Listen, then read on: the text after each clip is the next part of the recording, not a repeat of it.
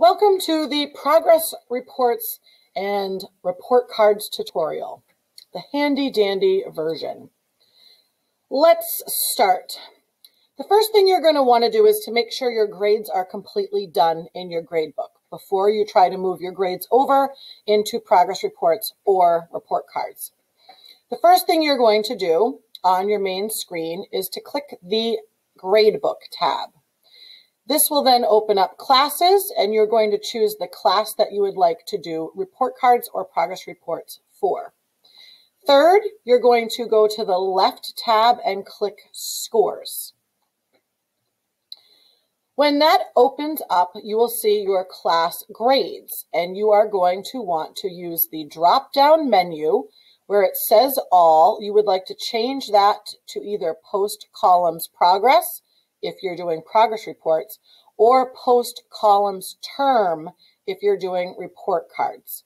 You always want to make sure that your trimester is correct. If it's not, you can use the down arrow to change that. Once you get into the new screen, it will show you where you have to populate your data. In order to move your grades from your grade book into progress reports or report cards, you're going to need to click Update Post Columns. Update Post Columns. That will then move your grades into trimester one, or depending on the trimester you are on, it will move your grades into trimester one column. You will then need to fill in the remainder of the columns with comments from the master comments list. These are numerical codes that go along with comments, and so you'll have to have a list that will help you to do that.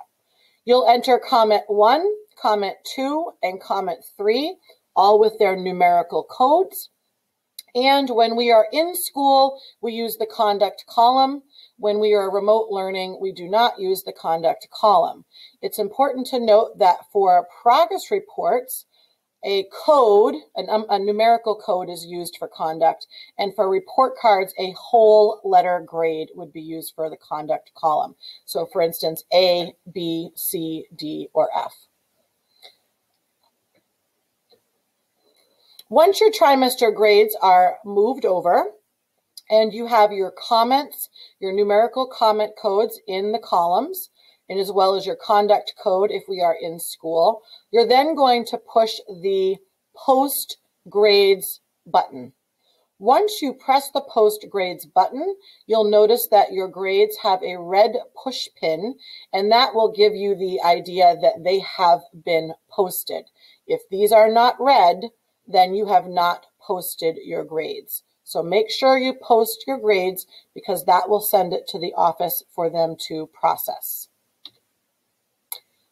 Once you have your grades done, many teachers want to keep a hard copy on file. Just in case anything were to happen, you would have all of your report card grades done. Also, some administrators ask you to verify your grades and check them. It's always a good idea to make sure you don't have blank kids, no grades with a kid. So, first to print out a hard copy, you're going to go to the reports button when you click on that, there'll be a drop down menu. You want to choose grade book sheet. Once you choose grade book sheet, a pop-up window will show up. You want to change it to portrait.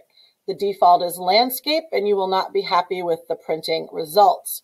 Choose portrait and then run. And that will run a PDF um, version of your grades that you can then print to the printer of your choice. Good luck doing your grades.